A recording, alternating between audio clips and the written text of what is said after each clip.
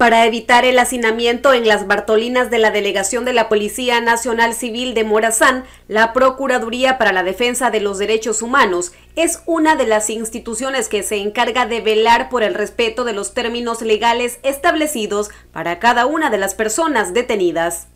Sí, efectivamente, la Procuraduría de Derechos Humanos realiza de forma permanente el monitoreo de la situación de las personas privadas de libertad, justamente porque es eh, parte del mandato constitucional y legal que nos corresponde. Es decir, nos corresponde velar porque se cumplan y se respeten los plazos administrativos en una persona que está en una detención administrativa, así como cuando están a la orden de un juzgado de paz previo a la celebración de su audiencia y que normalmente son llevados a las Bartolinas. Históricamente hemos tenido ese problema de hacinamiento, pero últimamente ha habido respuesta más eh, efectiva, digámoslo, esta institución está en constante monitoreo, por lo que la Policía Nacional Civil envía un informe actualizado sobre traslados de Bartolinas hacia diferentes centros penales del país. El día de ayer eh, tuve, el último informe en donde se nos hace saber eh, que han sido procesados las personas que están estaban en las Bartolinas a la orden de los tribunales,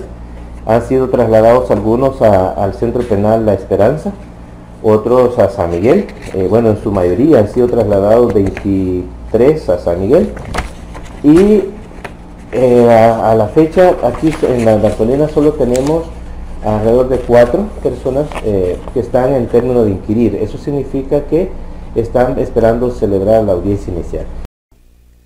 El delegado departamental asegura que estos resultados son satisfactorios, ya que hasta la fecha la PNC reporta que no hay hacinamiento de detenidos en sus Bartolinas. Eso nos complace, digamos, como institución, porque el trabajo ha resultado ser efectivo por la gestión que hace la misma Policía Nacional Civil. Es decir, sabemos que quien, quien tiene la administración de las Bartolinas quien está a cargo de la custodia mientras está en esa fase de detención es la policía. Eh, nosotros lo que hacemos es eh, verificar, coordinar, eh, enviar escritos, solicitudes. Entonces eso nos parece que es un buen resultado que está teniendo la Policía Nacional Civil aquí en el departamento, que quienes están siendo procesados estén ya en donde corresponda, igualmente los que han sido condenados.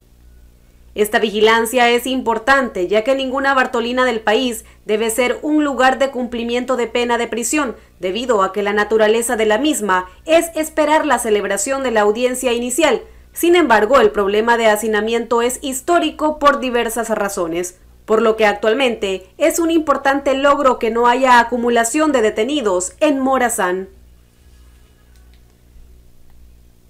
Con imágenes de Enrique Hernández, edición Dore Argueta, Lizeth García, Noticiero Telemás.